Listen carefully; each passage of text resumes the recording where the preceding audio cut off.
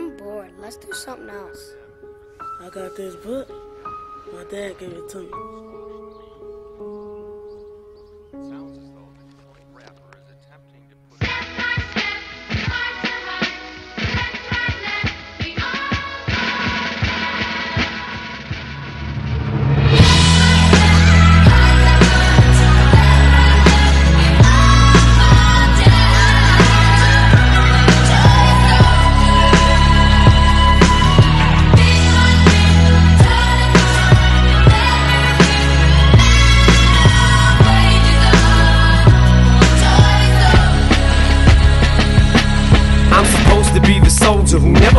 Composure. Even though I hold the weight of the whole world on my shoulders, I ain't never supposed to show it. My crew ain't supposed to know it. Even if it means going toe to toe with the Benzino, it don't matter. I never drag them in battles that I can handle unless I absolutely have to. I'm supposed to set an example.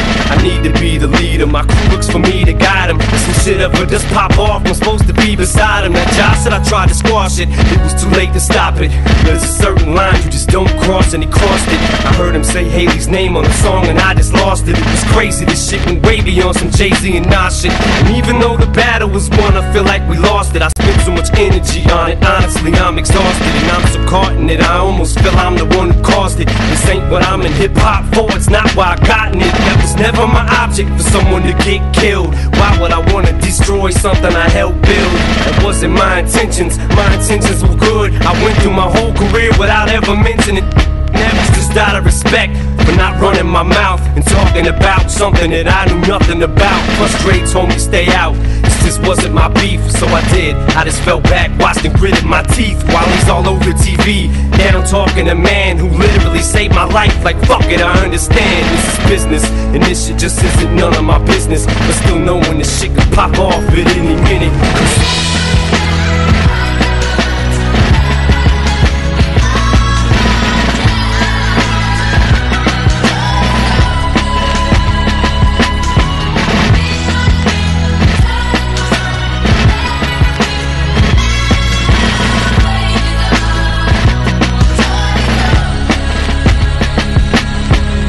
used to be a time when you could just say a rhyme and wouldn't have to worry about one of your people dying. But now it's elevated, cause once you put someone's kids in it, shit gets escalated. It ain't just words no more, is it? It's a different ballgame. You call names and you ain't just rapping. We actually tried to stop the 50 and John from happening.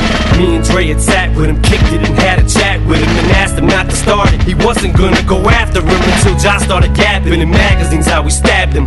Fuck 50, smash mash on him, let him have it. Meanwhile, my attention's pulled in another direction. Some receptionist at the source who answers phone to his desk has an erection for me and thinks that I'll be his resurrection.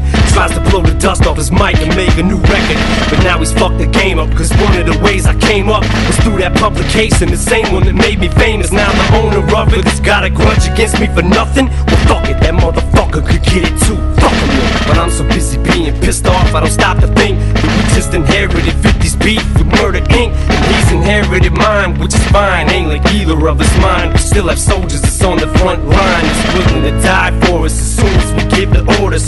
Never to extort us, strictly to show they support us. And maybe shout them out in the rapper up in the chorus to show them we love them back and let them know how important it is to have Runyon Avenue soldiers up in our corners. Their loyalty to us is worth more than any award is. But I ain't trying to have none of my people hurt or murdered. It ain't worth it. I can't think of a perfect way to word it than to just say that I love y'all too much to see the verdict. I'll walk away from it all before I let it go any further. But don't get it twisted, it's not a plea that I'm copping. I'm just willing to be the bigger man if y'all can quit popping off at your jaws, well then I. Cause frankly, I'm sick of talking. I'm not gonna let someone else's coffin rest on my conscience.